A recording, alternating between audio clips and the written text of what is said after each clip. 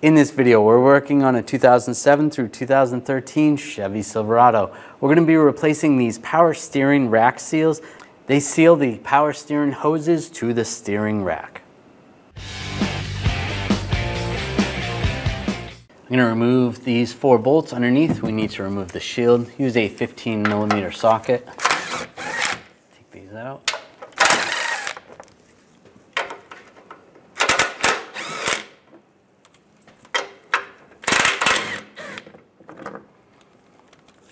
And now remove the shield.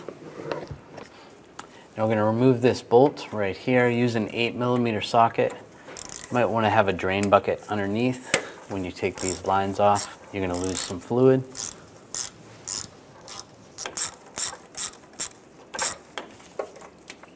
And pull that bolt out. Okay. Now just grab the lines, just give them a wiggle. Then you can slide these out and you can drain the fluid in the bucket. Now we're going to take these seals out. Just use a pick or a screwdriver. Just try to get underneath here.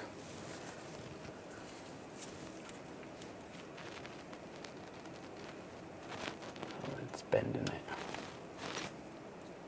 Let's try a screwdriver.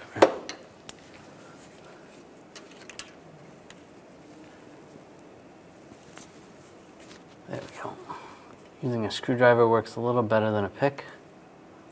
Pull that one out. There's another one right here. Do the same for the bottom one. Just pull those out. I'm going to take one of the seals and we'll slide it in the bottom. Get that lined up. And then I'm just going to take an 8 millimeter socket. It's small enough. Or, you know, any socket that'll fit. And just line that up. And just tap it in. You can tap it in with your hand. If you need to, you could use a hammer. Looks good right there. Now we're going to do the same on the other one. All right, that's lined up.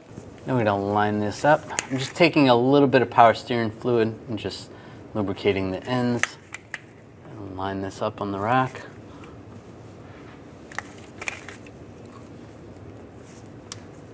And push that in.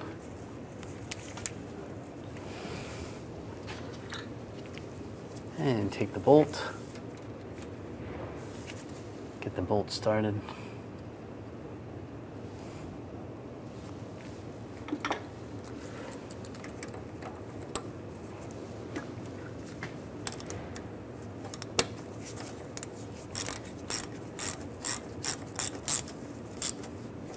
And snug that down.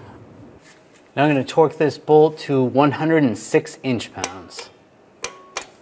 That's good. Now I take this cover, line this up, get the bolts started.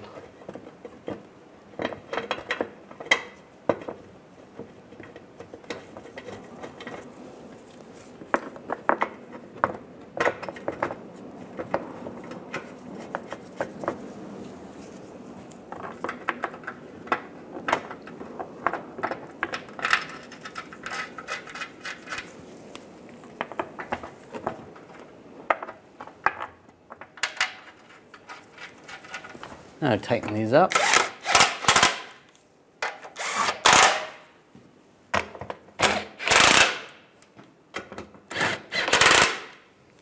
Now we want to fill the power steering fluid, take the cap off.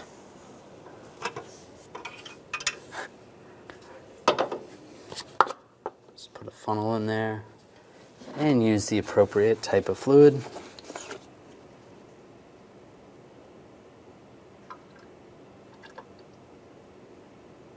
Uh, take the funnel out. You can check the fluid level.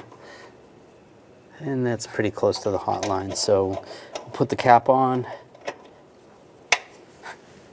With the front wheels off the ground, we're going to turn the steering wheel back and forth, stop to stop, with the engine not running about 10 times.